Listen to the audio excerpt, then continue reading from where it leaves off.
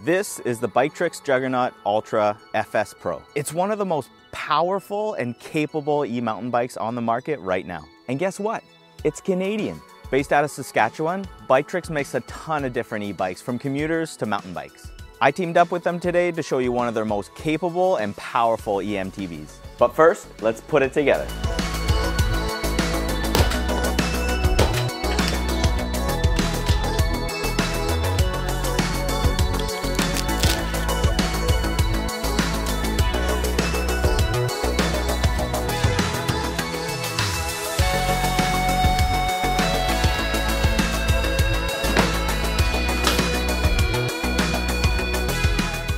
I gotta say, I've unboxed a few e-bikes in my day and this has to be one of the best packed bikes I've received in a long time.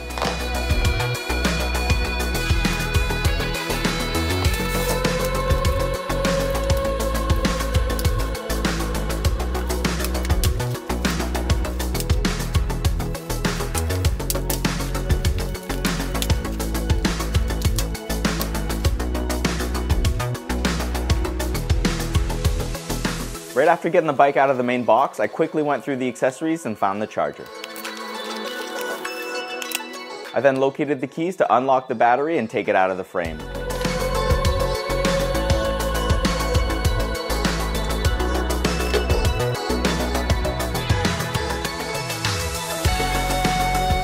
I set it to charge on the side while I was putting the rest of the bike together.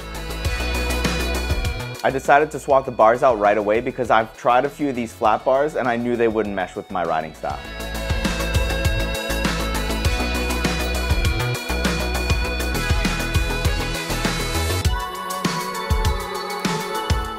I got this bar and stem combo online. They're strong, inexpensive, and they feel great.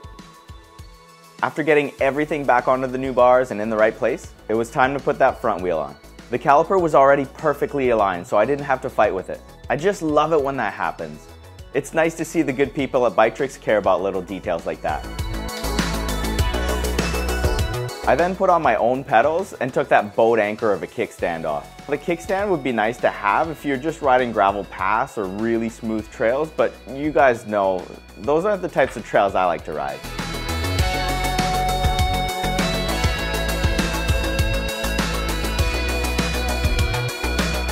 Tell me, is there a better feeling than taking the protective film off a new toy? Oh, oh, oh. You know what I'm talking about. Oh. I think I'll name her Jugs.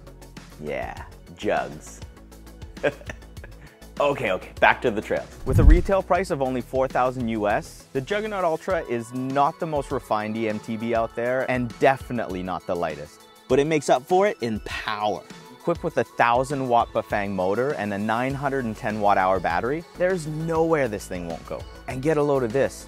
That Bafang motor puts out 160 newton meters of torque. That's twice as much as any Shimano or Bosch out there. The model I have comes with 27 and a half inch wheels with 3 inch wide Maxxis tires front and back and a RockShox RST suspension combo with 140 mils of travel. There's also a fat bike model with 26 inch wheels and 4 inch wide tires. I've got the bike set up pretty much stock right now with a few exceptions. I've changed the contact points. I put my own pedals, seat, and handlebars on. This is just a personal thing. There's absolutely nothing wrong with the ones the bike comes with. To me, having a comfortable and stable connection to the bike at all times is really important. And that's different for everyone. Here's a couple geo numbers. The head tube angle is 67 degrees. It has a 470 mil chainstay and a super long 1280 millimeter wheelbase. This should make the bike super stable at speeds and really good on the steep climbs. It might be a little tricky on the tight switchbacks of a climbing trail, but let's find out. Having a motor to assist you up the mountain is a game changer. I personally don't get any enjoyment out of the climbs. Now I understand there's people out there that love the climbs and love the challenge. They push themselves and enjoy the workout. But I'm not one of those riders. Just like a day at a lift access bike park like Whistler, you're just as tired at the end of the day. You've just done 10 runs rather than just one or two if you had to pedal up. It's just a different workout, and to me, it's a full body workout not just legs. I also love getting to the top of the hill feeling fresh. No cramps, no jello legs, you just feel strong and ready to take on the gnarly trails ahead of you. Now don't get me wrong, I know the climb will always be part of mountain biking, right? You have to get to the top to then ride to the bottom. But if you give me a way to cram more fun into the limited time I have to ride, I'm all over it. Well, it made it up all those tight turns with no problems. And the power that thing has is insane. But all those numbers mean jack if the bike isn't fun to ride downhill.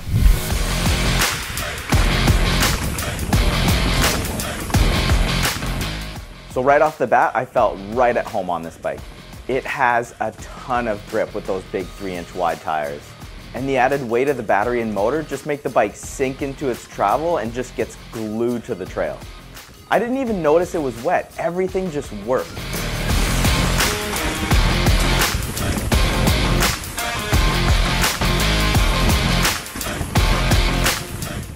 I did notice the weight for the first time when I had to brake into a corner. I was carrying so much speed and I didn't know if I could brake in time. Luckily, they built this bike with really strong four piston brakes biting on a 200 millimeter rotors. That slowed me right down and gave me even more confidence.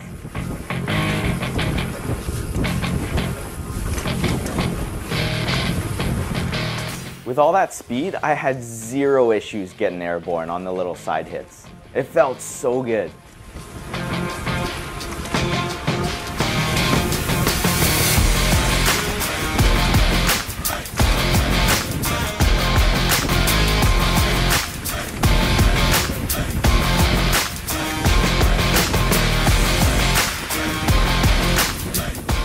So it did great on a blue flow trail, big deal, right?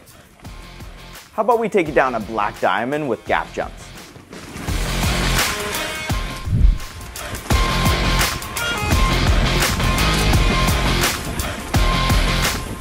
After a few runs, I was feeling really good and comfortable on jugs.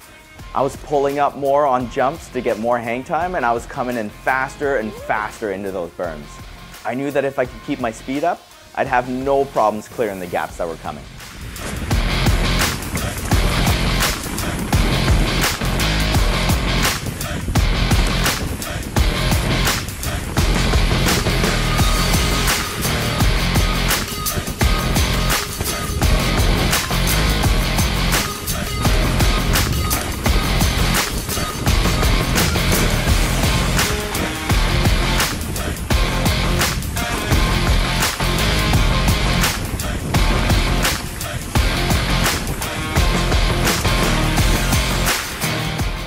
Definitely not as nimble and poppy as my Polygon trail bike, but it's different. Ooh.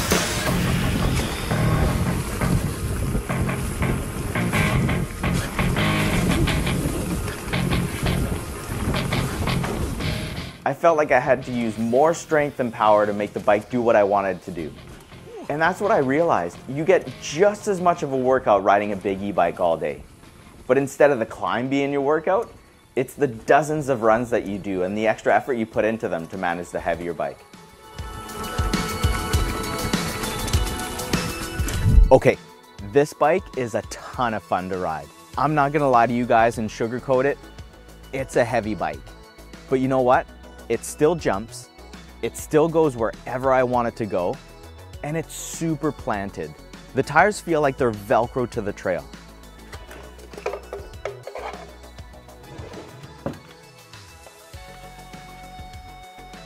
So I rode this thing for four hours today. I did over 10 runs on my local trails and I didn't even crush half the battery. It was still at 67%. I have a ton of upgrades in mind for this bike to make it into the ultimate EMTB. I'm gonna try to find a 29 inch fork to run it as a mullet, maybe even a dual 29er, who knows? It also desperately needs a dropper post and I'm gonna try my best to route it through the frame. Let's see how that goes. When that video comes out, I'm gonna put it right there. But in the meantime, here's the one that YouTube thinks you'll like to watch the best. I'll see you guys there.